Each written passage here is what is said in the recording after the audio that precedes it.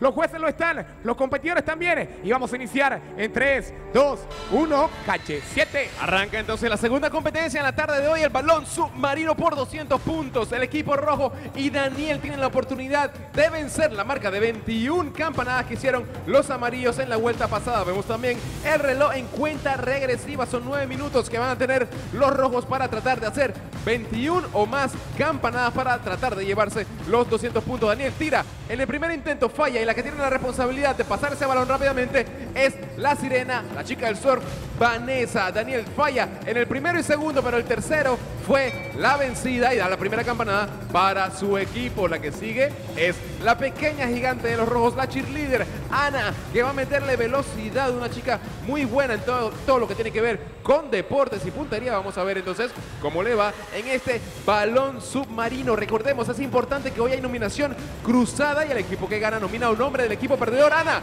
Efectivamente, y en el primer intento da la segunda campanada para los rojos en un minuto solamente que ha transcurrido y el que tiene la oportunidad en este momento es el ecuatoriano Espíritu Calle 7, Mario Vélez, que ya está atravesando el circuito. Vamos a ver cómo le va con la puntería del señor Mario. No se confundan, tiene el cajo de Emilio, pero él es Mario Vélez. Aquí lo vemos, tira. Falla, no, no falla, efectivamente un globito. Parecía que se iba afuera, pero no, entró en la primera oportunidad, una parábola bien marcada, bien extraña, pero efectiva en su primer intento y le da la tercera campanada a los rojos. La que sale ahora es la piloto que también practica el cayuco. Monique que se dispone, se quita los lentes, se prepara.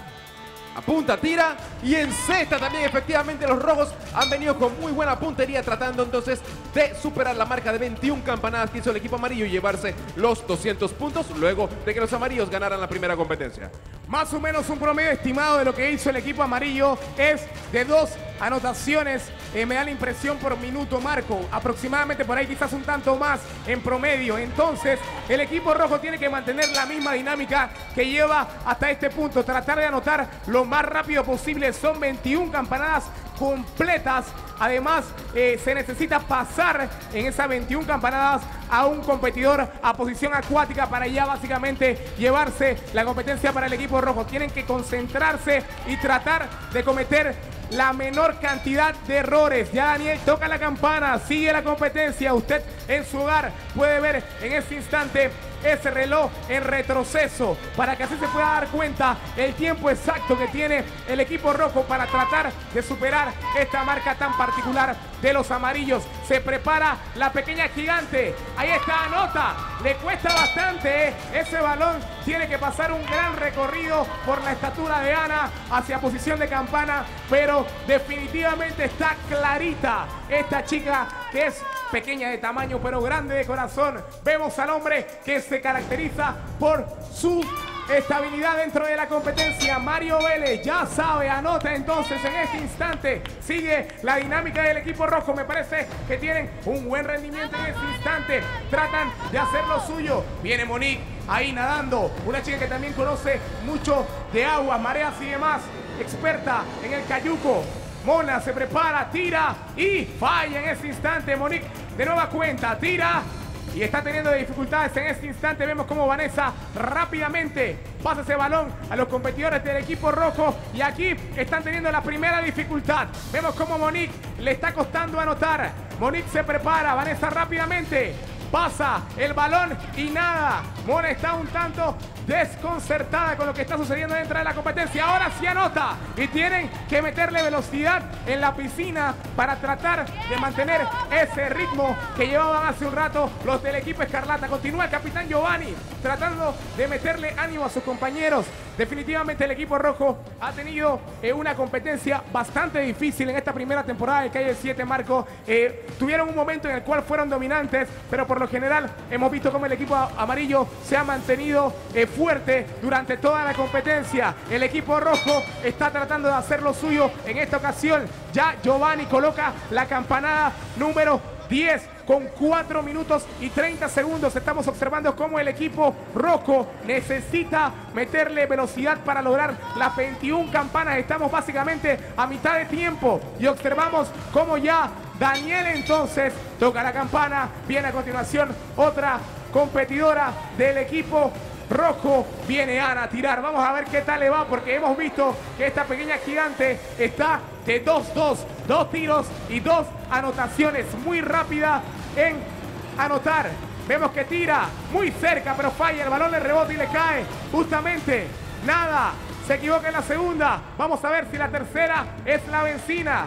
La vencida, sí, así es. Ana nota. Continúa la competencia. Marcos, esto está por terminar porque quedan 3 minutos y 42 segundos y el equipo Escarlata le va a meter presión a los amarillos en ese instante.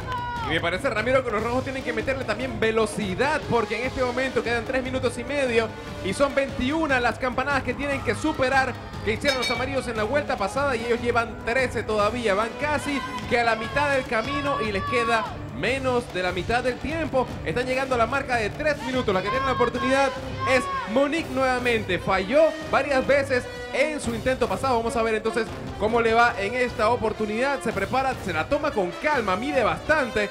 Falla en el primer intento. Vanessa bastante atenta para pasar ese balón rápidamente. Llegan a la marca de 3 minutos. Monique en sexta. En la segunda oportunidad ya llevan 14 los rojos tratando de alcanzar a los amarillos que hicieron 21 campanadas. El capitán Gio desplazándose por la piscina. Vemos la cara de preocupación de Vanessa. Se le escapa el balón por un momento a Gio. Vamos a ver entonces cómo le va con el tema de la puntería. Se prepara, se quita el agua de los ojos, apunta y bastante lejos ese tiro del capitán. Vanessa bien atenta para pasar ese balón nuevamente. Falla en la segunda oportunidad y los rojos empiezan a estar en problemas. Son 21, ellos llevan 14. Gio falla nuevamente. Dos minutos con 20 segundos quedan en el reloj. Cuenta regresiva. Gio vuelve a fallar en este momento. Vamos a ver, se prepara, apunta nuevamente, tira y falla de nuevo. Se comienza a complicar la cosa para el capitán de los rojos y para su equipo porque tienen que meterle velocidad. Falla nuevamente. Cuando llegamos a la marca de dos minutos, los rojos se mantienen todavía con 14 campanadas. Vanessa pasando ese balón. Gio tirando, tratando de encetar. Lo hace efectivamente. Da la campanada rápido. Le da entonces la oportunidad para el balón submarino a Daniel que viene atravesando la piscina. Vamos a ver cómo le va a Daniel. La primera parte la hace bastante rápido. Aquí lo vemos que va un poco más lento en esta segunda parte y posiblemente esto también puede influenciar bastante en esta competencia para el equipo rojo efectivo en el primer intento. Esto también es sumamente importante. Un minuto y medio les queda a los rojos para tratar de alcanzar a los amarillos. Tienen 16 campanadas. Vemos la cara también de preocupación de Vanessa en este momento porque sabe que no es nada fácil. Ah, vamos a ver la pequeña gigante Ana, que no se quita ni siquiera los lentes para que no pierda tiempo. Tira y falla en el primer intento. Vamos a ver, intenta nuevamente. Tira y falla en el segundo y se le comienza a complicar, Ramiro, la cosa al equipo rojo. Ana falla en un tercer intento y les informo que estamos llegando a la marca del 4. Falta un segundo y el último minuto le queda al equipo rojo.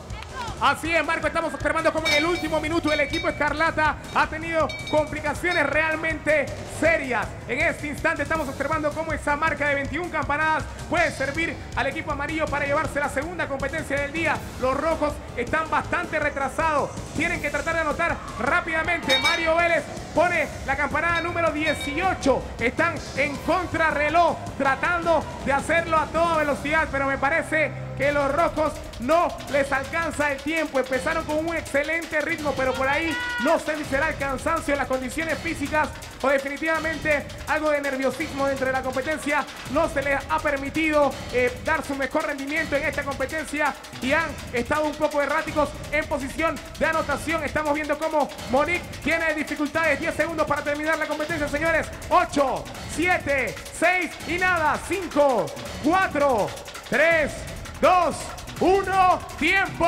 El equipo amarillo gana la segunda competencia del día y otra vez el equipo rojo se ve obligado a ganar la última solamente para obligar a un desempate en la competencia. Vamos a pasar con el equipo ganador. Aquí está el señor Andrés Gil Calavit que es todo un nadador profesional, está aguantando el aire. Andrés, ¿cómo se sintió dentro de la competencia? No puede hablar, mucho aire, mucho aire tiene el equipo amarillo. A ver, cuénteme cómo fue la competencia. Ganamos otra vez, gracias a mi Dios, estamos bendecidos en esta temporada. El equipo amarillo arrasando, arrasando completamente al rojo. Bueno, no quiero ser más alarmante de lo que ha sido la competencia hasta ahora. Repito, el, ama- el amarillo es el equipo de la competencia. Bueno, así es. Estamos observando que los competidores definitivamente con un excelente ritmo China otra vez. Muy bien dentro de la competencia. Sí, contenta, súper contenta que ganamos. Está muy bien. Señor Ricardo, algo que decir. Usted que es poco expresivo, pero cuando dice algo tiene mensajes contundentes y claros para el equipo Escarlata. Bueno, no, felicitar siempre al equipo amarillo por hacer buen trabajo y, y- y seguir así hasta ganar el día de hoy. Bueno, señores, tenemos que ir al cambio comercial y en breve regresamos con mucho más. Recuerden que hoy la nominación es cruzada, así que muy importante para el equipo ganador, donde tendrán la oportunidad de nominar a alguien del equipo perdedor. Nos fuimos, ya regresamos con más de Calle 7.